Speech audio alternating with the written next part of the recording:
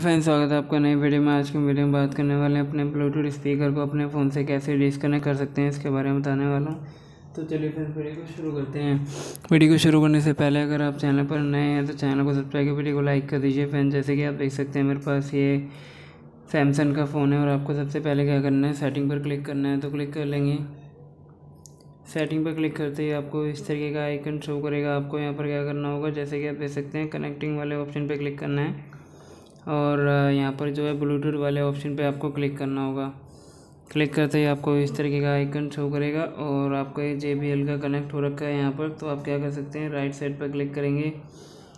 Click करते ही आपको यहाँ पर क्या करना होगा अनपेयर पे क्लिक करना है और आपका ये अनपेयर हो जाएगा, यानी कि डिसकनेक्ट हो जाएगा। तो उम्मीद है फ्रेंड्स वीडियो पसंद आएगी। वीडियो पसंद आए तो चैनल को सब्सक्राइब कर, वीडियो को लाइक कर दीजिए। मिलते हैं नेक्स्ट वीडियो में, तब तक के लिए नमस्कार। तो मिलते हैं नेक्स्ट वीडियो में, तब तक के लिए बाय बाय